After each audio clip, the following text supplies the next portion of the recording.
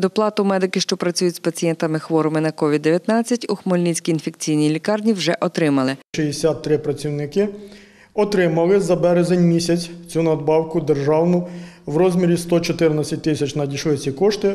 Вони вже отримані на руки працівникам. Ну але максимальна доплата складає не 3 оклади, не 300%, а максимальна це 2 тисячі гривень. Е, Тому що згідно тих всіх наказів е, МОЗу, наказів соцполітики, передбачається доплата за е, фактично відпрацьований час при спілкуванні з пацієнтом з ковід.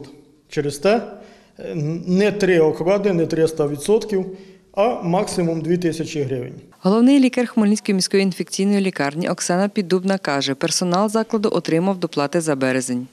Ми зараз працюємо над тим, щоб заключити договір на отримання нового пакету по ковід. Мова йде про ці 300%, три вже оклада, які люди мають отримати за квітень. Ми отримали цей пакет в п'ятницю.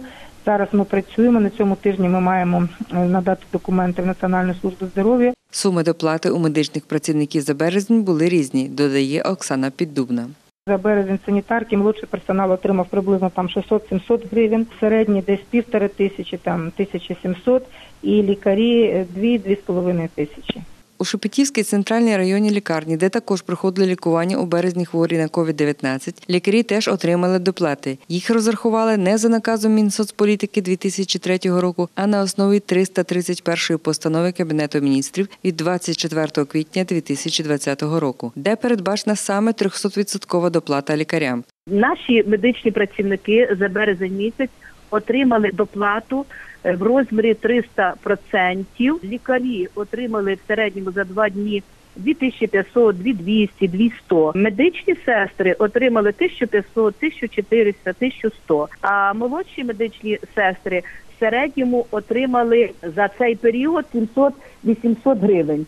В області наразі намагаються вплинути, аби у Міністерстві охорони здоров'я переглянули систему нарахування доплат медичним працівникам, яка нині здійснюється за фактичний час відпрацьований з хворим на коронавірусну інфекцію. Тобто це за наказом Мінсоцполітики за 2003 рік. Ми звернулися, направили до Міністерства охорони здоров'я, до Кабінету міністрів е, пропозицію щодо внесення змін до цього наказу і передбачення саме виплат, якщо ми говоримо е, за на повний, е, так би мовити, розмір заробітної плати 300%, ми цей передбачили пропозицію внести зміни і передбачити 300% до фонду заробітної плати. Сам заклад він не має права нараховувати по-іншому. Тому є, що є, є наказ, відповідно до якого вони діють, яким вони повинні користуватися в роботі. У телефонній розмові в Суспільному на питання, чому два медичні заклади на Хмельниччині при розрахунку доплат керувалися різними документами, сказав таке.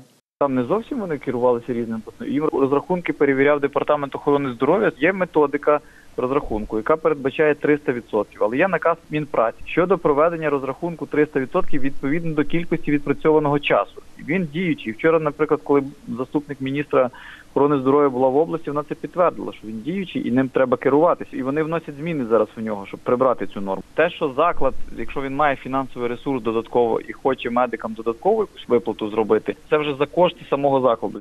Тетяна Ворожцова, Віктор Кривий. Новини на Суспільному. Хмельницький.